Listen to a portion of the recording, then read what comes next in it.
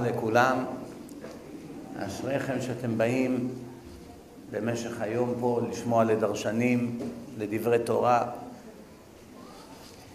אמרתי בדרשה הקודמת, הגמרא בעצמה אומרת, אין בן חורין אלא מי שעוסק בתורה. עצמאות זה לא עצמאות מהאויבים שרצו להרוג אותך וניצלת מהם ועכשיו אתה אוכל ושותה. עצמאות אמיתית, להיות בן חורין אמיתי, זה אך ורק למי שעוסק בתורה. כל אדם שלא עוסק בתורה הוא כבול כל שנייה בחייו. כל שנייה, מה פירוש? אדם עם כיפה ואדם עם כיפה, שניהם. אחד כל היום שקוע בתורה, השני שקוע בעסקים. גם כן בא לבית כנסת, מתפלל, מניח תפילין, אוכל כשר, שומר שבת, מה שנקרא דתי. אבל לא השקוע בתורה, שקוע בביזנס. שניהם יש להם את אותן מטלות. אחד חופשי, אחד כבול. מה הפירוש? שניהם יש להם מחויבויות, אז למה אחד חופשי והשני כבול? פשוט מאוד. אדם ששקוע ועסוק בתורה, שום דבר לא כובל אותו. מתי אדם מרגיש כבול? אסור, אסור, אוף, אוף, אוף, אך ורק כשהוא לא שקוע בתורה. מי ששקוע כל הזמן בתורה, זאת אומרת כל דקה פנויה שיש לו, התורה זה כל החיים שלו, ממילא שום דבר אחר בעולם לא מעניין אותו יותר. רק השם, רק הדבקות בהשם, שיוויתי השם לנגדי תמיד. אתם יודעים, יש דעה רווחת היום שהיא טעות מיסודה. הרב שלמה הופמן, הוא היה גדול הפסיכולוגים החרדים בדורנו. כל גדולי ישראל התייעצו איתו. אני, ברוך השם, עשיתי סדרה של 17 הרצאות על הספר שלו, שיחות עם הרב שלמה הופמן. אם אני לא טועה, יש לנו אפילו דיסקים לחלוקה חינם פה, סדרת הפסיכולוגיה של המוח ושל הנשמה. אני מבטיח לכם דבר אחד, מי שישמע את הסדרה הזאת, חייו ישתנו מן הקצה אל הקצה גם אם הוא ראש ישיבה. לא רק אדם פשוט, גם אם ראש ישיבה, למה? האדם הזה, מלבד זה שהוא היה תלמיד חכם גדול ועסק בתורה כל חייו ולמד אצל גדולי ישראל, הגדולים ביותר, הוא גם היה מומחה גדול לפסיכולוגיה, וזה שילוב קטלני. אדם שיש לו ידע גדול מאוד בתורה, והוא מבין את פסיכולוגיית הנפש של האדם, אין האדם יותר טוב ממנו לתת לך עצות איך להצליח בחיים. אני לקחתי, ליקטתי את הקטעים הכי חשובים בספר שלו, בשיחות שהיו איתו, לפני פטירתו, הוא נפטר לפני שלוש שנים. ועשיתי על זה סדרה שהיא מאוד מאוד מומלצת.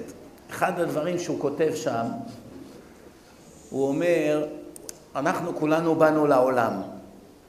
עצם זה שבאנו לעולם, סימן שאנחנו מקולקלים. מה הפירוש? אם היינו מתוקנים, כבר לא היה, לא היה לנו מה לעשות כאן.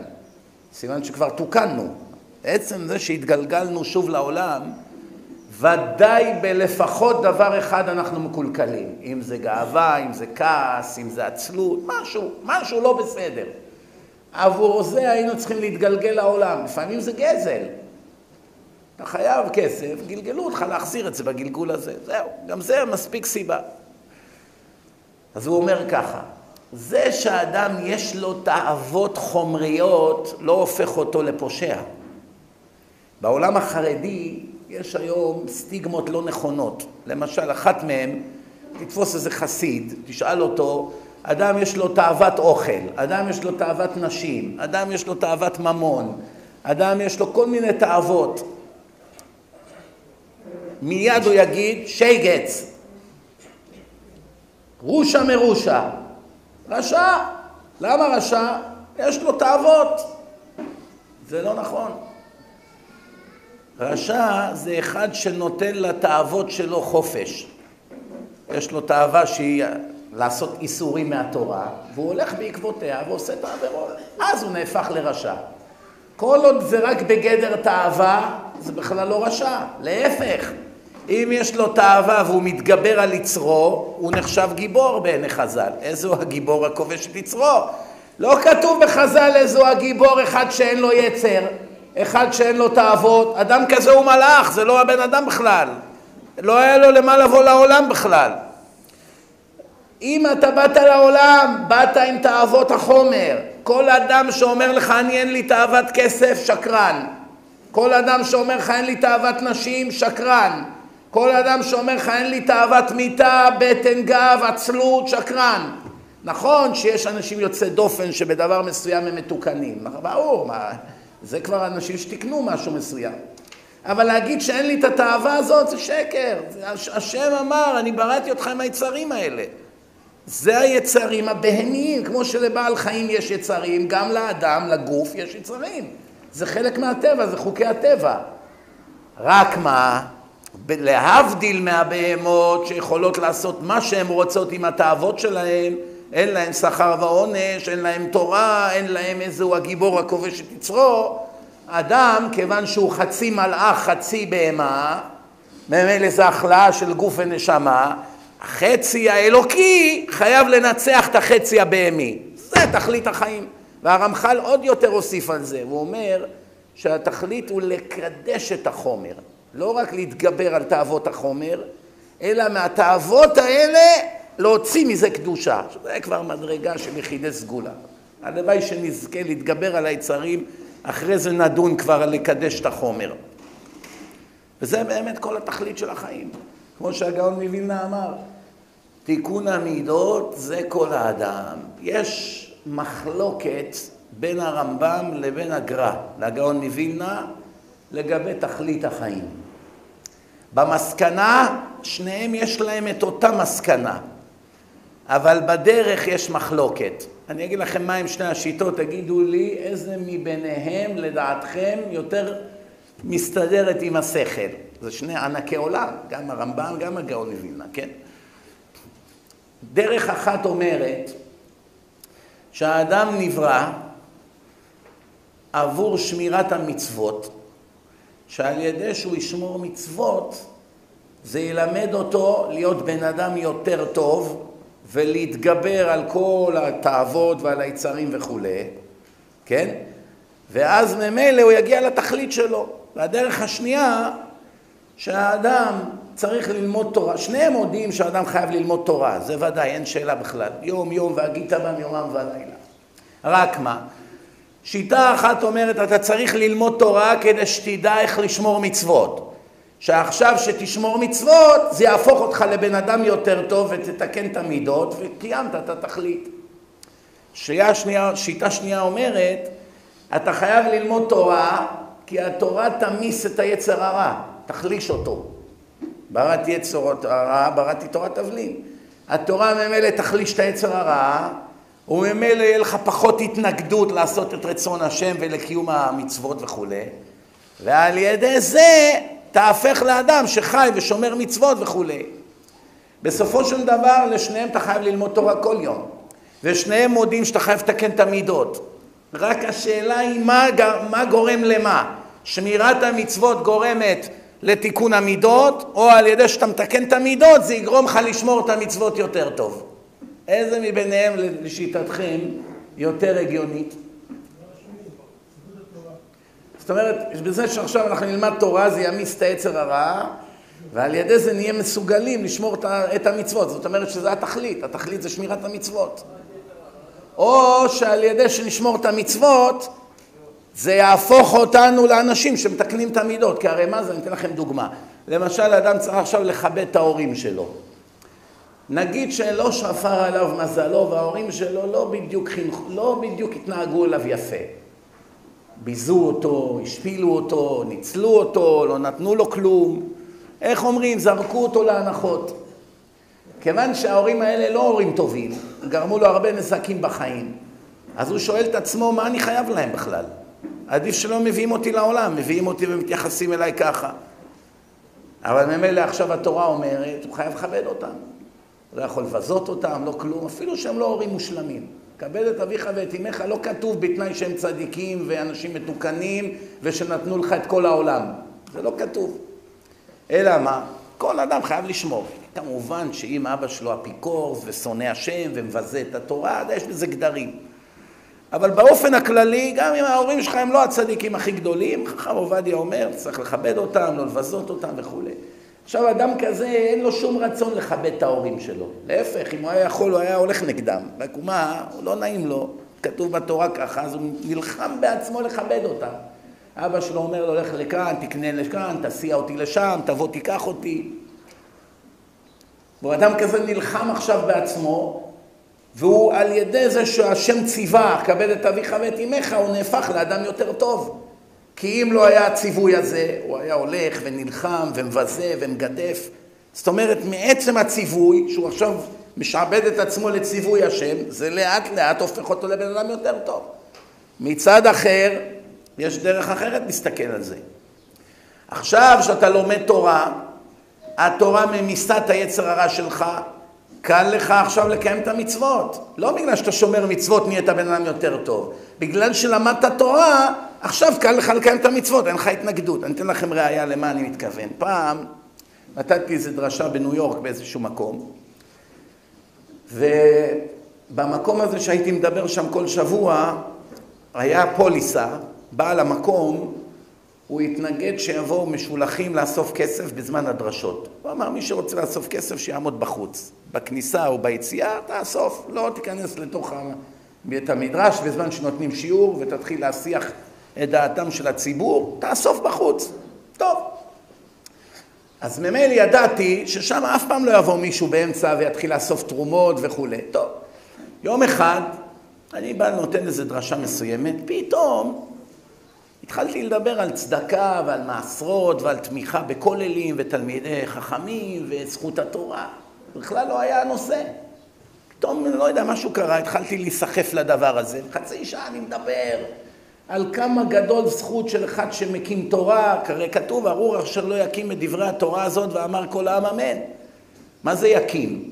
לא כתוב יקיים. יקיים כבר כתוב במקומות אחרים שצריכים לשמור מצוות. יקים עולה של תורה. זאת אומרת, בכל דרך שאפשר, בכסף, ברגליים, בפרסום, בכתת את רגליו, באסיפת כספים, כל אדם לפי כישרונו, כן? עכשיו אני מדבר חצי שעה, פתאום נכנס בעל המקום עם אחד רב מרמות, שיש לו כולל ברמות, קוראים לו הרב שטרית, שיחיה, בן אדם צדיק, תלמיד חכם, ענב מאוד וביישן מאוד. הוא בחיים שלו לא בא לאמריקה לאסוף כסף, זו פעם ראשונה שהוא איכשהו נקלע לסיטואציה, והוא נכנס עם בעל המקום באמצע הדרשה, והבעל המקום שם בא לוחש לי באוזן, תשמע, זה, אני חורג ממנהגי, זה מקרה חירום. עוד עשרה ימים הכולל שלו נסגר, הוא חייב לארגן 15 אלף דולר דחוף, אם לא ייסגר הכולל, זהו. והוא לא יודע מילה אחת באנגלית, והוא ביישן מאוד. והוא כבר שבועיים פה לא אסף אפילו את המחיר של הכרטיס טיסה. אם אני לא אעזור לו, הוא אבוד. לכן אני חורג ממנהגי. ככה הוא לוחש לי באוזן, תעשה טובה, תפרש להם מה שהוא אומר, הוא לא יודע אנגלית. התחלתי, תוך כדי, עכשיו שאני, עכשיו הם לא יודעים שחצי שעה לפני שהוא נכנס, אני כבר נתתי להם באבי אביהם. אז איך שהוא נכנס, פתאום הבנתי למה השם סובב לי את הראש. אמרתי להם, רבותיי, יש כאן את הרב שטרית מרמות, וכך וכך הסיפור, ישר איזה אחד מרים את היד, 4,000, 4,000 דולר. שתבינו, אם זה לא היה חצי שעה קודם, הוא היה אומר 100, 101, 180, וואו, 180, וואו. מיד, אותו אחד אומר, 4,000 בשביל אבא ואימא שלי. חוץ מי הוא נתן 4,000, נהיה 8,000. 4,000 בשביל אחותי ובעלה. זה שישב לידו כבר לא היה נעים לו. אמר ארבעת אלפים גם, נהיה כבר שש עשרה אלף. היה איזה אחד, אמר אלף, אני עוד זוכר את הסדר של המאורעות, למה זה היה ממש נס לנגד עיניי. לא עברו שלושים שניות, כבר יש שבע עשרה אלף דולר. עוד אנשים צעקו שלוש מאות שישים, מאתיים, חמש מאות, עשרים אלף דולר בדקה וחצי. עכשיו הוא לא מבין מילה, לא יודע אנגלית.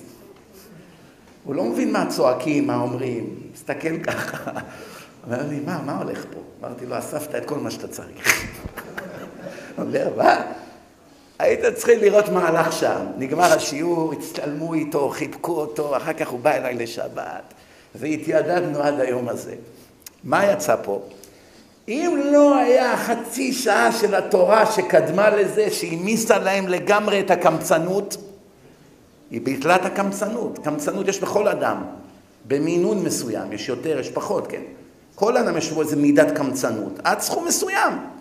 אחד קמצן על מאה, אחד קמצן על אלף, אחד קמצן על עשרת אלפים. אבל באיזושהי נקודה יש, יש גבול לנדיבות. כל אדם, איפה שהקו האדום שלו, עלה בכמה דרגות. אני בטוח, שעה אחרי שהם הגיעו הביתה, הם דפקו את הראש בקיר, מה עשינו? כי הכוח של התורה עבר. זה מה שכתוב, אם תעזבני יום, יומיים אעזבקה. מה פירוש? זה ביחס ישר. יום אחד תתעלם ממני, תתנתק ממני, אתה תרגיש בחיסרון שלי יומיים. חכם בן ציון זצ"ל, הוא פעם אמר בדרך של הלצה.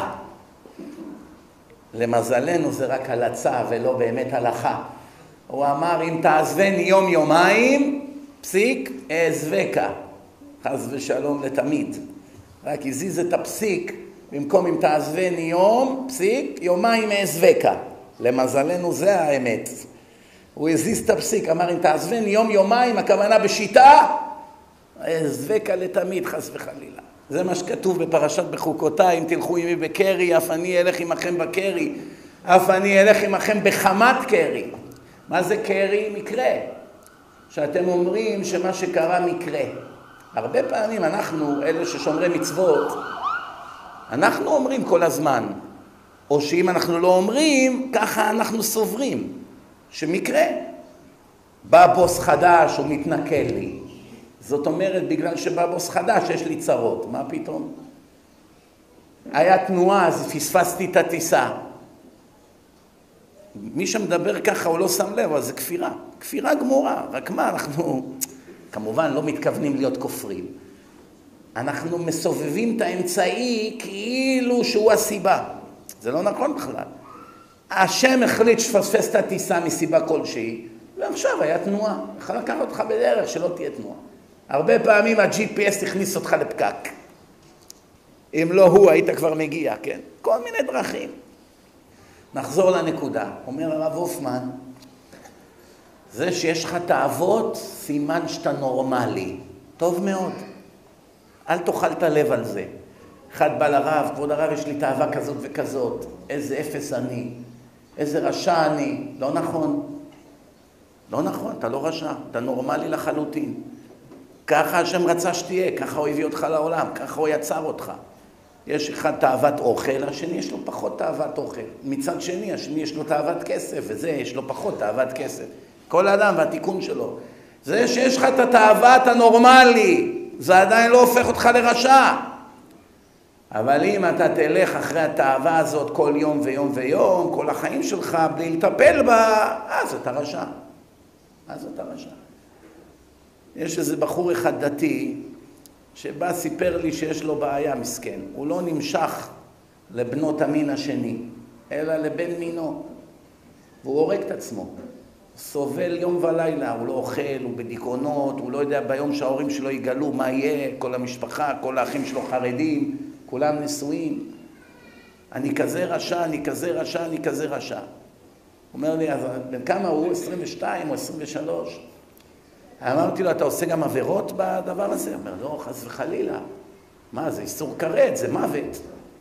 אני פוחד. אמרתי לו, אין צדיק יותר ממך בעולם, תן לי ברכה. אתה יותר צדיק מכולם, מכל הדרשנים. יש לך כזאת אהבה ואתה לא עושה עבירות כי אתה ירא מהשם? בטח שאתה צדיק, מה? רשע זה אחד שהולך אחרי התאוות. אחד שנולד עם תאווה מסכן או עם סטייה מסוימת, זה סוג של מחלה. כל המידות הרעות הן מחלת נפש. לא רק מה שאנחנו מכירים בתור מחלת נפש. עצבים זה מחלת נפש. עצלנות, לא רוצה לעשות שום דבר, זה מחלת נפש. עצבות כל הזמן זה מחלת נפש. גאווה זה מחלת נפש. מה אתה חושב שזה? יש מחלות נפש ויש הפרעות נפשיות. מי יודע מה ההבדל? מה ההבדל בין הפרעה נפשית למחלת נפש? מי יודע? הוא אומר הפרעה זה זמנית. הוא יכול להיות שגם המחלה היא זמנית. יש גם מחלות זמניות. אדם קיבל איזה מחלה, יצא ממנה, היה לו סרטן, נתנו לו קימו, יצא מזה, חי. אני אתן לכם רמז. מחלת נפש צריך פסיכיאטר. הפרעה נפשית צריך פסיכולוג. אתם יודעים מה ההבדל בין פסיכיאטר לפסיכולוג או לא? יפה מאוד. פסיכיאטר מטפל בך על ידי תרופות. פסיכולוג מדבר איתך, מטפל בך על ידי שיחות. איך אחד יכול לרפא אותך על ידי שיחה, והשני רק על ידי כדורים? כבר נתתי לכם 80% מהתשובה. מי יכול להגיד לי מה ההבדל בין מחלה להפרעה?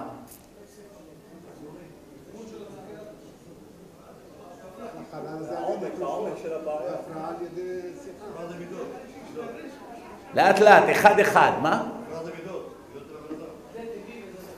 זה נכון מה שאתה אומר, אבל זה לא התשובה המלאה.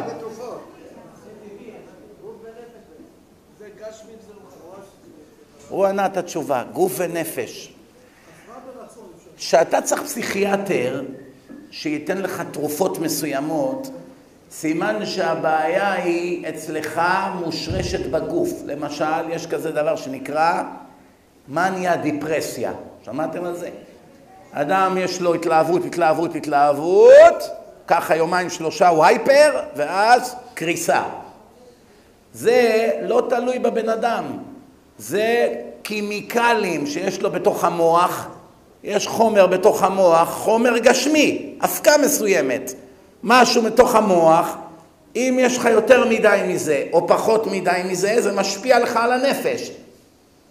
זאת אומרת, משהו אצלך פיזי גרם לך להתנהגות נפשית מוזרה. התרופות מווסתות את זה, כמו סקיזופרניה, אדם שיש לו כמו פיצול אישיות, מדבר עם עצמו, מחליף קולות וכולי, נותנים לו כדורים מסוימים, זה מייצב לו את המצב. הוא מסוגל לתפקד, הוא יודע מי הוא. זאת אומרת, זה משהו פיזי בתוך המוח, זה רק פסיכיאטר יכול לטפל. זה פסיכולוג ידבר איתו מאה שנה, לא יעזור. זה לא שייך עכשיו לבעיה שהיא בעצם מתוך הנפש שהיא עכשיו נכנסה בבן אדם. ומה זה פסיכולוג? הפרעות נפשיות זה דברים שבאים לאדם במשך חייו. למשל, טראומה מסוימת שהוא עבר בילדותו. למשל, הוא ראה לו עלינו איזה רצח קטלני בזמן שהוא היה ילד, זה מאוד השפיע לו על הנפש. אבל הוא לא יודע את זה.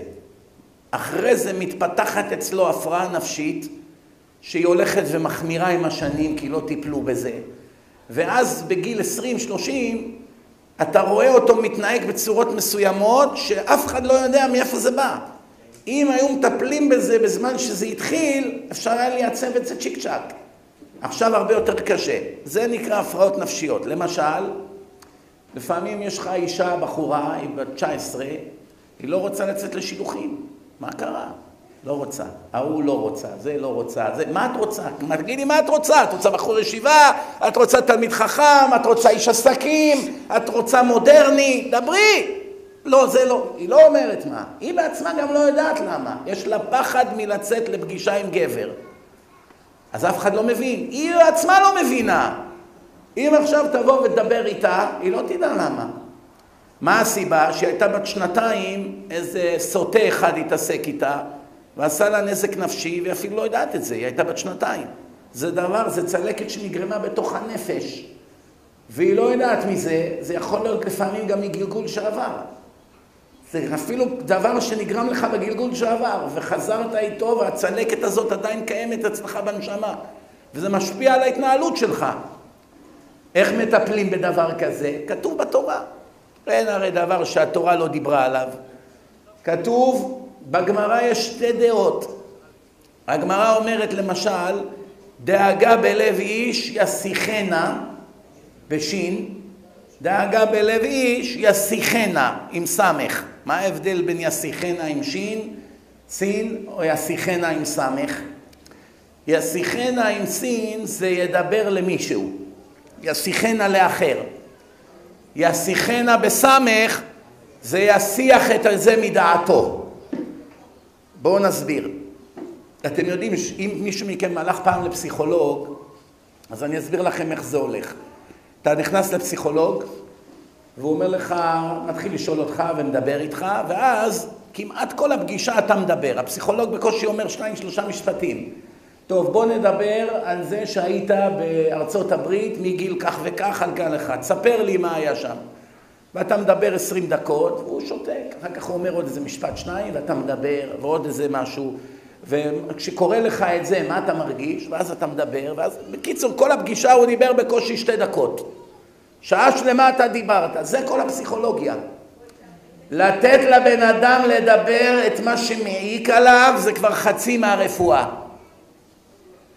זה מה ששלמה המלך אמר לנו לפני שלושת אלפים שנה. עשה לך רב, זה לא מה שאנשים חושבים. כולם חושבים, עשה לך רב, יש עכשיו אלף רבנים בדור, תלמידי חכמים, כמו שהיה כאן אחד מגדולי הדור לפניי, הוא תלמיד חכם גדול, אני אשאל אותו בהלכה, הוא דיין, בית דין וכולי, אני אשאל אותו בהלכה. זה לא הכוונה עשה לך רב. מה זה עשה לך רב? מה, אתה תקבע מי הרב שלך? לא.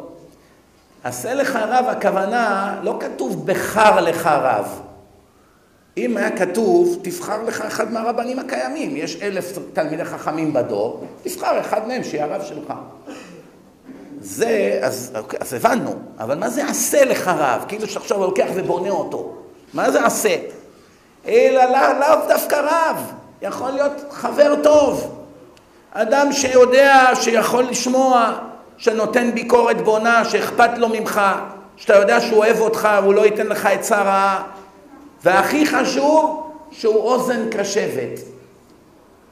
ברגע שאתה מדבר איתו, הוא מייצב לך את כל הראש. מוציא אותך מהספקות, מכל ההתלבטויות, מהדילמות. הרי כתוב בגמרא, אין שמחה אלא כהתרת הספקות. רוב החיים של האדם הוא חי בספקות. לעבור דירה, לא לעבור. להתחתן איתה, לא להתחתן. להתגרש, לא להתגרש. לשלוח את הילד לכאן או לשלוח אותו לשם. לעבודה הזאת או העבודה הזאת. הכולל הזה או הכולל הזה. הרב הזה או הרב ההוא. אין סוף להתלבטויות. הלבטים והספקות מכניסים את האדם למועקה. מישהו שמתיר לו את הספקות, משחרר אותו מהמועקה.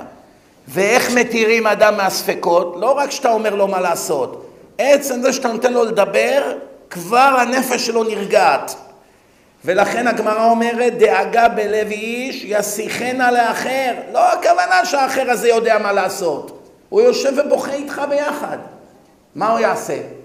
הוא לא יודע מה לעשות. זו בעיה שאין לה תרופה עכשיו, מה אנחנו יכולים? אדם הפסיד את כל כספו. היה לו 20 מיליון, נמחק הכל ביום אחד בבורסה. עכשיו הוא בא לרב הכי גדול בעולם, מה יעשה? יחזיר לו את הכסף? מה הוא יכול לעשות? אלא מה? עצם זה שעכשיו הוא יושב איתך עשרים דקות ואתה מדבר ואתה בוכה והוא מעודד אותך, אל תדאג, השם גדול, השם לקח, השם יחזיר, כל מיני דברים כאלה. כבר יצאת עם חיוך. מה הרב עשה? האמת, כלום, רק שמע אותי. מה יכול לעשות? שמע אותי! כבר זה דבר גדול. רוב היום בדור הזה אנשים אין להם סבלנות, כל אחד יש לו צרות מכאן עד סוף העולם. אין לו סבלנות לשמוע צרות של אחרים. היום, הרי כתוב בפרקי אבות, שנא את הרבנות. למה שנא את הרבנות? זו מצווה גדולה להיות רב, לזכות את הציבור, ללמד תורה, להדריך אותם. זה דבר טוב, הרי אין גדול כמזכה הרבים, נכון או לא? מה הכוונה? זה הורג אותך נפשית, זה ממוטט אותך. עצם זה שאתה כל היום צריך לשמוע צרות של אנשים, אתה יודע איזה אומלל אתה? אני אומר לכם ניסיון. כל היום קורא אימיילים של אומללים וצרות ואנשים שמדברים איתך לפני השיעור ובחוץ ובאים ודופקים לך על הזה ואתה אין לך גם את הזמן ואתה לא יכול לטפל בכולם ואתה משתגע כבר. אתה יוצא מדעתך, אתה לא יכול להירדם בלילה. יש לך צרות שהן צרות של אחרים. זה בעיה נוראית. רק מזה לבד רב מגיע לו 100 מיליארד דולר משכורת. רק עצם שצריך לשמוע את כל האומללים. זה לא יאומן. אתם יודעים שהרבה מהפסיכולוגים והפסיכיאטרים מתאבדים בסטטיסטיקה, הרבה מהם מתאבדים. למה? הם מרוויחים 600 דולר לשעה, מה רע? יושב, שומע איזה מישהו בוכה לו, והוא מקבל משכורת יפה מאוד. אלא מה? זה משפיע עליו נפשית. זה גורם לו, הוא עצמו, להיות, לחיות את הסבל של הלקוחות שלו. זה מציאות, רבותיי, זה לא צחוק. והגמרא מביאה עוד, עוד אפשרות, יסיחנה מדעתו. איך אדם מסיח את דעתו? בואו אני אראה לכם דוגמה. למשל, אדם יש לו צרות גדולות מאוד בביזנס. צרות גדולות. לחצים, עצבים, הפועל עזב, אין לו עכשיו, לא יודע מה לעשות, ביקורת, מס הכנסה, הרבה צרות. שותף, תובעים אותו. ברגע שהוא נכנס לישיבה, גמר שחרית ויושב ללמוד עכשיו איזה שעתיים גמרא. בזמן שהוא שקוע בגמרא, הצרות האלה מפריעות לו או לא? לא. הוא שקוע בגמרא, הוא לא חושב מה יהיה. מתי הצרות חוזרות? כמה דקות אחרי שהוא קם, סגר את הגמרא, יצא למכונית לנסוע עכשיו לעבודה, הכל חוזר לו, בום, מכה בפניו. נמצא שכל עוד הוא עסוק בדבר אחר, הוא לא סובל מהבעיה. זאת אומרת, הוא מסיח את דעתו ממנה. עכשיו, יש כמה דרכים להסיח את דעתך. למשל, אני אתן לכם דוגמה. רבי עקיבא היה עם הארץ בן 40, יש אומרים גרוש עם ילד גם. בקיצור, לא היה מציאה. מנקה סוסים, עובד אצל איזה עשיר אחד, מבריש לו את הס... בימינו זה כמו אחד ששוטף את המכוניות, כן? מטפל במכונית, מנקה, שם. אחד כזה בן 40, נגיד גרוש עם ילד, עובד של העשיר, והבת של העשיר, שהיא חרדית מבית יעקב, רוצה עכשיו להתחתן איתו. אוי לבושה, אוי לכלימה. אבא שלה מסכן, איך נפלה עליי הצרה הזאת עכשיו? כן? זה בערך מה שהיה שם. בסופו של דבר היא ברחה עם רבי עקיבא. עזבה את האבא הגביר שלה שתמך בכל התלמידי ישיבות, באברכים, היה, היה מקובל אצל כל גדולי הדור. הגביר העיקרי, כן? שהכיל את ירושלים שלוש שנים. ברחה מבית יעקב עם חילוני עם הארץ, שלא יודע קרוא וכתוב, גרוש עם ילד, ברחה איתו. וגם עני מרוד. הכל ביחד. תחשבו איזה מצב היה, כן? ברחה איתו. איפה הלכה לגור? בבית מקש. עכשיו הייתי במושב, ראיתי שם את החציר של הסוסים, ככה בנה לה בית. כל יום היה מנקה לה את השערות מהחציר, היא עכשיו הייתה בארמון, משרתים, זה. עכשיו היא, היא גרה שם, אין חשמל, אין טלפון, אין כלום! אין משהו שיעסיק אותה, היא לבד בין ארבע קירות של חציר, בחושך. עכשיו, יום אחד מופיע אליהו הנביא. אליהו הנביא הופיע, אומר לה, הוא בא בתחפושת של אני, סליחה, אתם עשירים בקש, אולי אתם יכולים לתת לי קצת קש? אין לי קש. והם, מה, בטח, בטח, קח קש, נתנו לו קש, הרגישו על גב העולם. זה הסיפור. עכשיו, אני, יש לי שתי שאלות. שאלה ראשונה, כבר ראינו בגמרא כמה פעמים שאליהו הנביא בא לאנשים מסוימים והעשיר אותם. העשיר אותם, לא נתן להם עכשיו, לא בא עכשיו לבקש מהם עוד שייתנו לו גם משהו, אלא העשיר אותם. בא בתחפושת מסוימת, או פעם הוא בא כעבד שנמכר והם הרוויחו כסף, נתן להם מטבעות, כל מיני דברים כאלה. זאת אומרת, אליהו הנביא יכל היה להעשיר אותם. אבל במקרה שלהם, לא רק שהוא לא השאיר אותם, עוד חיסר מהם את הקצת שיש להם. ודבר שני, מה בכלל הסיפור הזה בא להגיד? מה הסיפור בא להגיד עכשיו? של מה השם עשה את זה, ששלח להם את אליהו הנביא בתחפושת של העני? חשבתם פעם מה, מה מסתתר מאחורי הסיפור הזה? הרי אתם יודעים, כל מעשייה שאנחנו קוראים בחז"ל, היא הרבה, הרבה, הרבה, הרבה יותר עמוקה ממה שבן אדם אפילו מדמיין. הרבה הרבה יותר עמוקה. רק אנחנו מבינים על פני השטח קצת, מבינים איזה משל, שניים מהסיפור.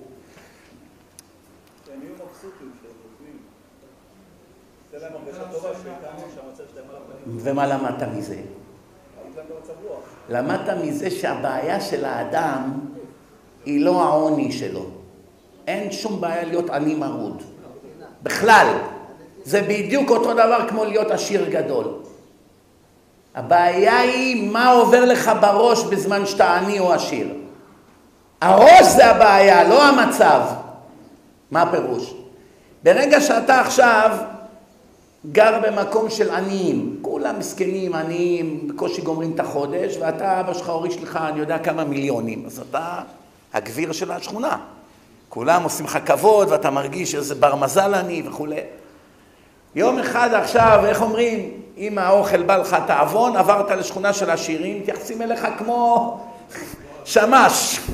בואנה, תזיז, תביא, לך תזה, תנקה פה. אומר, אה, אה, הלו, אני הגביר של העיר ההיא. מה גביר?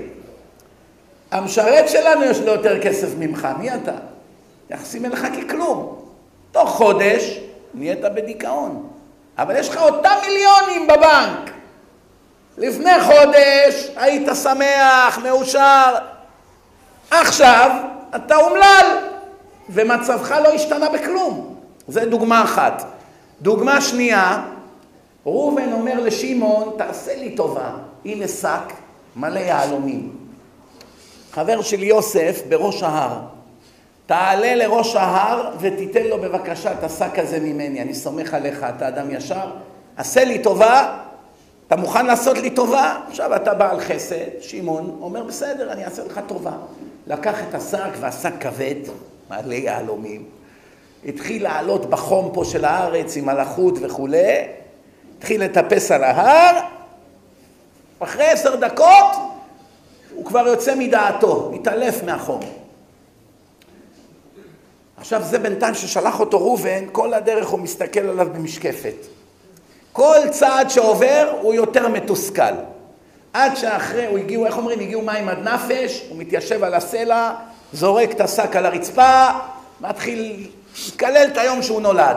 פתאום אשתו התקשרה, מתחיל לצרוח עליה, מה את מפריעה לי, כמה פעמים אמרתי לך לא להתקשר באמצע היום. זה בינתיים משקיף עליו. אומר, טוב, טוב, לפני שבאמת הוא מתאבד, בואו נתקשר אליו עכשיו. מתקשר אליו, שמעון, סליחה, אני שכחתי משהו חשוב להגיד לך. כן, כשאתה תגיע לראש ההר, חבר שלי יוסף, מכל השק הזה הוא רק לוקח שלוש אבנים מיוחדות שהוא יבחר, הוא צריך, בשביל איזה טבעת, וכל שאר היהלומים זה בשבילך שכר טרחה. וניתק. עכשיו בואו נראה מה קרה. אחרי שהוא שמע את זה, הוא קם כמו אריה. אותו חום, אותה לחות, אותו משקל, אותו הכל, אותו דרך, אותו הר, הכל אותו דבר.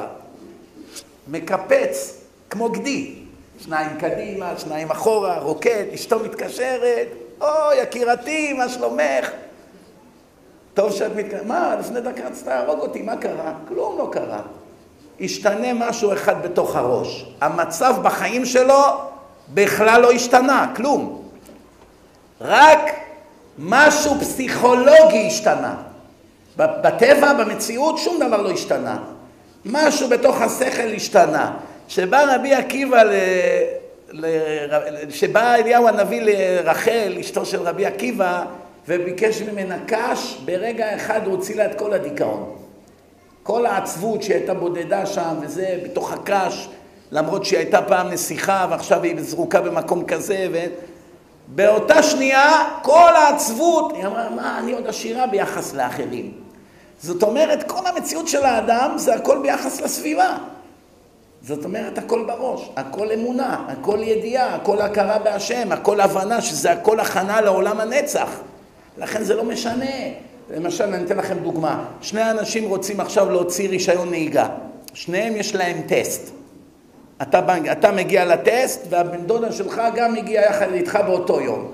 אחד יש לו מכונית חדשה, אני יודע מה, איזה טויוטה עם מזגן, ריפודים נוחים, שנת 2017, והשני, מכונית מימי אנטיוכוס, לא מזגן, ריפוד עקום, הגה קצת קשה, הכל, איך אומרים?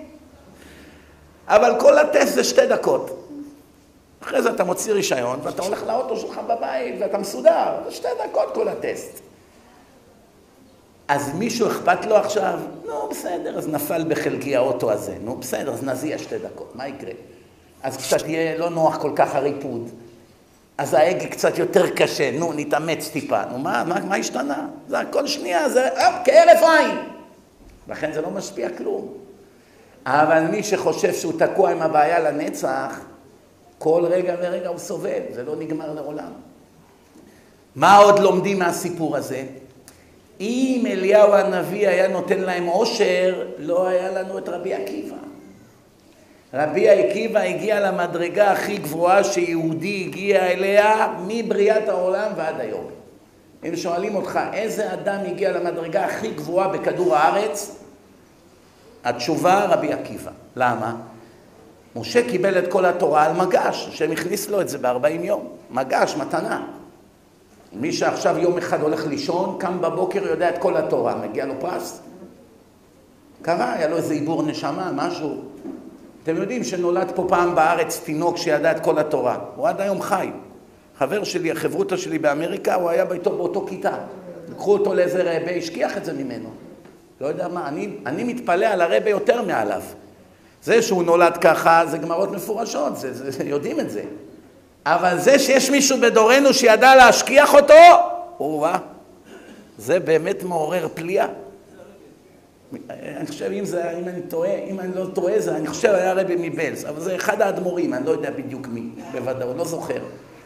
בקיצור, הילד הזה ידע, התחיל לדקלם, דפי גמרא, שולט, טק, טק, טק, טק, מדבר, מדבר בלי סוף, יודע הכל. עכשיו, אחד כזה, מגיע לו פרס, נולד ככה, המלאך לא השכיח ממנו, קיבל מתנה. כל האחרים שהגיעו לזה ב-40 שנה של לימוד, מגיע להם פרס. פרסים מהשם יש אך ורק על מה שיגעת ומצאת. מה שנולדת איתו אין על זה שום פרס. גם אין עונש. נולדת מכוער אין עונש. נולדת יפה אין פרס. נולדת למשפחה עשירה אין פרס. נולדת למשפחה ענייה אין עונש. אין כלום. רק על מה שהשגת יש שכר ועונש. מה שהיה בידך והשגת, או שלא השגת, על זה יש שכר ועונש. כתוב מפורש, כי מה השם אלוקיך שואל מעמך? כי אם, רק דבר אחד, יראת שמיים, ויראת שמיים זה כל החיים. זה הרבה הרבה קושי להגיע למדרגה של יראת שמיים. ראשית חוכמה יראת השם. כל החוכמה שלך לא שווה גרוש אם אין לך יראת שמיים.